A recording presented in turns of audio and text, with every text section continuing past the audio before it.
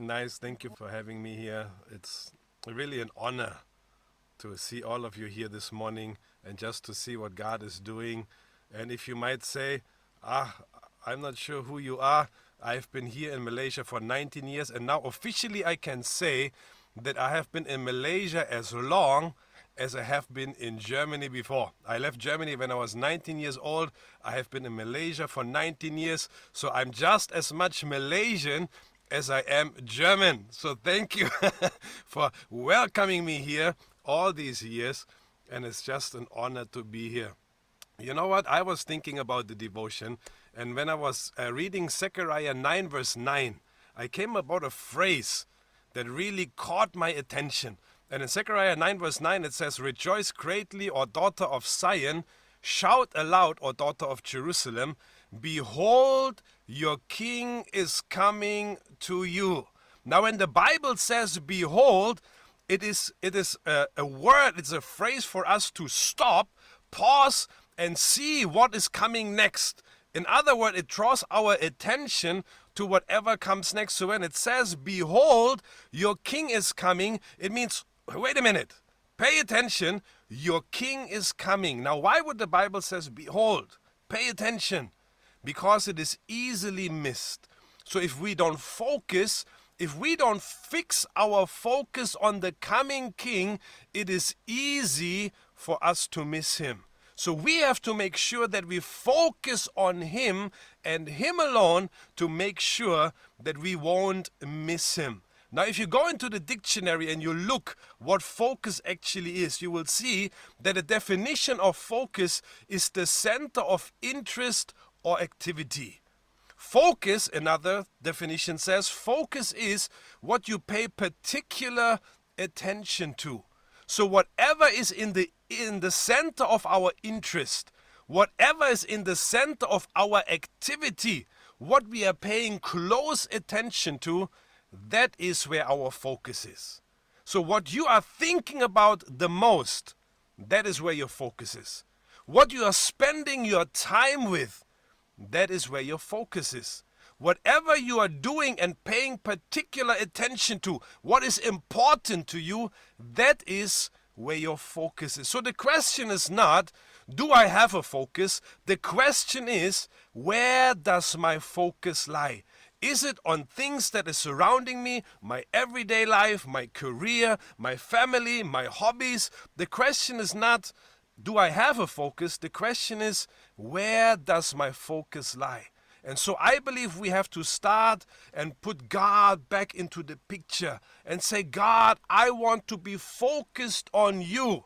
Because the focus, the thing about focus is, is what you are what you are in focus, what you see, that is becomes very clear. I believe you will see a picture here of my little daughter, my youngest one. I have five kids. She is the youngest one. And just last week, we put up our Christmas decorations, the Fickus household. We love Christmas. We put our Christmas tree up, our garlands, our lights, everything went up.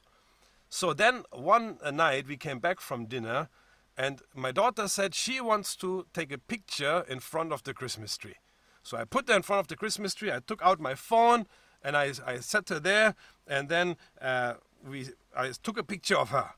And you know, it is amazing nowadays what the what the phone can do already, right? So this picture that you see was taken in portrait mode. Now I know all the younger ones. You're very familiar with portrait mode. You have used it for your Instagram feed, for your TikToks numerous times. I'm pretty not so active on social media, but so I took this picture. So what you see is now she is in focus but everything else is blurred out. She's everything else is out of focus. She is in focus, everything else is out of focus. Then I took another picture and I purposely focused on the Christmas tree. So now the Christmas tree and the background is in focus and she is out of focus. And that is how it works in our life. Whatever we focus on, we will see clearly. It is sharp, it is clear, it is obvious, but everything that is not in our focus is a little bit out of focus. So when it comes to God, it is easy to focus on our everyday life. What we are confronted with every day with work, with family, friends, our everything that we have going on every day. But the reality is that means God can easily get out of focus. And so we have to say, no, I want to put God back into my focus. I want to fix my focus on God and what God can really do in my life. And I believe that is something that we have to put our mind to. So, my first point that you can see on the screen is also that we cannot focus on our lack. Now, I took a portion of scripture, an entire chapter that is found in Acts chapter 3. I will not take the whole uh, time to read the entire chapter, but basically, what happens is in Acts chapter 3, uh, Peter and John go up to the temple to pray.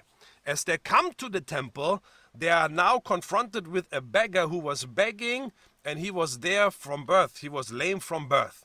So as he as they approached the temple, the beggar put out their hand to, to ask for some money. Then Peter looks at him and then he says these famous words Silver and gold I do not have, but what I have I give to you. In the name of Jesus Christ of Nazareth, rise up and walk and then he become the ankles become strong the bible says. He stands up. He starts jumping up and down shouting praises to god. He runs into the temple. Everybody realizes hey this is the guy who is actually lame from birth. What is he doing? Running around jumping praising god. It causes such a commotion that now even the religious leaders come out to see what is happening see the entire thing uh, playing out in front of them. They're going to Peter and John, remand them, put them in prison overnight. Now, that is what happens in Acts chapter 3. So, now what we can see and learn about focus is what we said the first time is to not focus on our lack, what we don't have. So that's where it says, then Peter and John says, Silver and gold I do not have, but, see, there is a word in here. It said but. Now, but in the English grammar is a conjunction that highlights two contrasting ideas. So the first idea, the first part of the verse says, Silver and gold I do not have. But there's no full stop. But the conjunction now shows that what comes next will be in contrast to what is in the front of the verse. So it says, Silver and gold I do not have, but what I have I will give to you. He didn't put a full stop there because he could have easily said, Silver and gold I do not have, full stop. Then he would have focused on his lack, what he didn't have in his life. But that's not where he stopped. He said, Silver and gold I do not have, but there's something else coming. And so I wonder what would happen if we don't focus on our lack. Instead of looking at the things that we don't have, be open to the possibility what we might have that goes unnoticed. So we cannot focus on the lack and negativity in our life. We have to be open for more. Now, the things that I mentioned very briefly, I have put together from studies, from articles, from research papers from the field of psychology. And even psychologists agree that we cannot focus on lack or negativity. Why? Because, first of all, negativity will build more negativity. So, the more we focus on negative things in our life, the more and more prevalent they will become in our life. The more we look for negative things, the more you will find negative things. So it says in one of the articles constantly dwelling on what we lack tends to foster a negative mindset. So if we focus on lack, if we focus on what we don't have, it will foster a mindset that becomes very negative. And the more we see the negative, the more obvious it becomes, and even more things will all of a sudden now appear in your life that is negative. So we are doing ourselves no favor if we are focusing on lack in our life. Another thing says, it says if we focus on lack, it will impact our mental health. A focus on lack can contribute to feeling disappointment and frustration. And this can have a detrimental effect on our mental health. So, again, if we focus on what we don't have, if we focus on things that we are missing out, that we are desiring but we don't have, our mindset, our mental health will be affected. Another one says if we focus on lack, it will limit our personal growth. When we fixate on what we lack, we may overlook the resources and opportunities that we currently do possess. That is the thing. It is almost like a downward negative spiral. If we look for negative things, guess what? You will find them.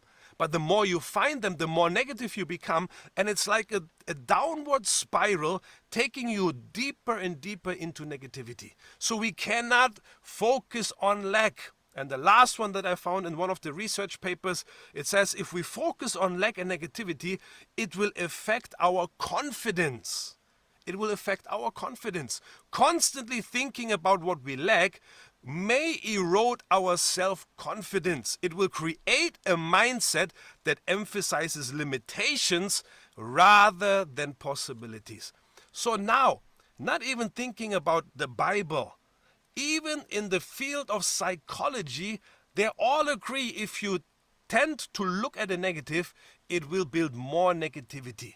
So don't focus on those things. Now, what does the Bible say? After all, we are looking at the Bible as our ultimate authority, right? So in Matthew 6, verse 31, it says, Do not worry, saying, What shall I eat, or what shall I drink, what shall we wear? For even the pagans run after all these things. But your heavenly Father knows you and knows your need. But seek first his kingdom and his righteousness, and all these things will be given to you. But what does it say right at the beginning of the verse?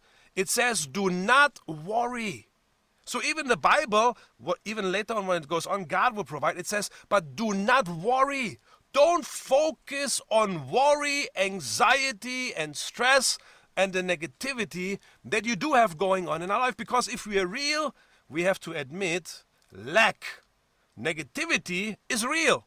We are facing those things in our life, but we cannot focus on them. So do not worry because God will give you all these things as well. Philippians 4 verse 6 says, Do not be anxious about anything, but in every situation, by prayer and petition with thanksgiving, present your requests to God, and the peace of God, which transcends all understanding, will guard your hearts and mind in Christ Jesus. What does it say again at the beginning? Do not be anxious about anything. Again, do not focus on negativity. Don't be anxious, but look at what God can do. So don't look, don't focus on the lack that you might have, but look at the possibility. That is my second point. We have to focus on our opportunities, opportunities that are still there. Acts chapter 3, verse 6 says, Then Peter said, Silver and gold I do not have, but what I have, I will give to you. What I do have, I am willing to share. What I do have, I will give. See, he was looking for an opportunity. He could have said, Silver and gold I do not have. Reality. That was really reality. But he would have focused on his lack. Instead, he said, I do not have money. I do not have riches. I don't have anything materialistic to share. But what I do have, I am willing to share. He was willing to look for the opportunity willing to look for something that he did have in his life. And that is what sharing about God really means. He said, You know what? I don't have riches, but what I do have, I am willing to give to you. I remember when I was growing up in Germany, I was running for my school. And I represented my school in the 100 meter sprint, 100 meter dash, and 10K cross country.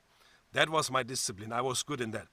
But we were looking for someone who would do the javelin throw in one of the competitions representing our school.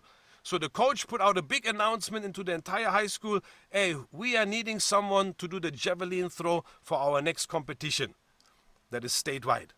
But nobody came forward, nobody wanted to do it. So he approached me and said, Steffan, I know you are a runner, but I want you to try out for the javelin throw. And I was like, I don't think so. I can run. That is what I'm good at. I am a runner. I am not a javelin thrower. He said, Never mind, I want you to try out. So, okay, I went there, I tried it out. Turns out I was pretty good at it. So, the thing is, I'm still holding my high school record after all these years in the javelin throw. Now, I'm not telling you this to ring my own bell so you can say, oh, very good, very good. Well, maybe a little bit.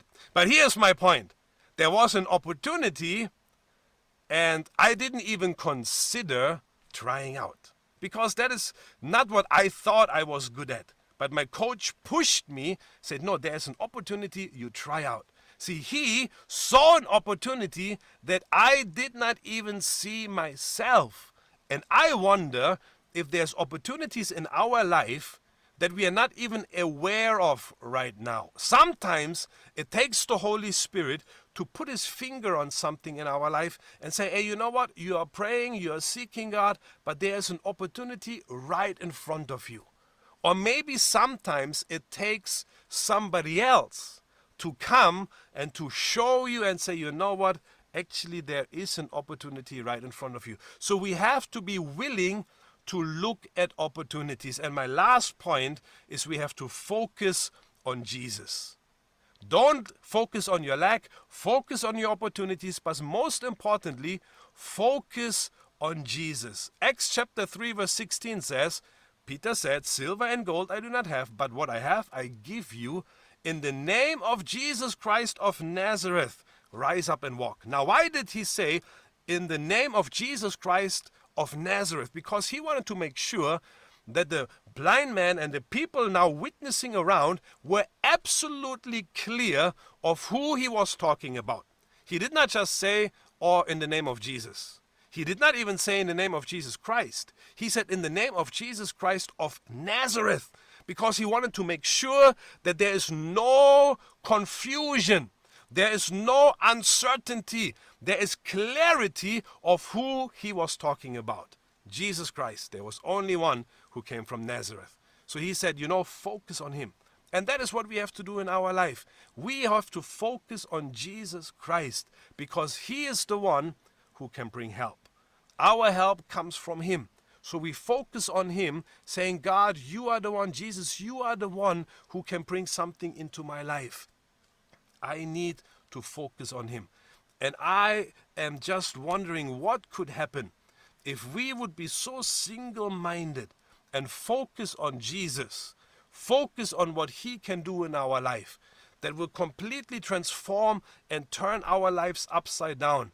And even the people that we are ministering to, the people that we are leading, the people that is uh, under our care, what they could experience if we would only focus on the coming King. So don't focus on lack, don't focus on negativity. Look for opportunities, but most importantly, focus on Jesus because that is where our help comes from. That is what we can really uh, have Him come into our life and we can see things happening that we did not even knew were possible in the first place. Amen. Let's just pray very quickly.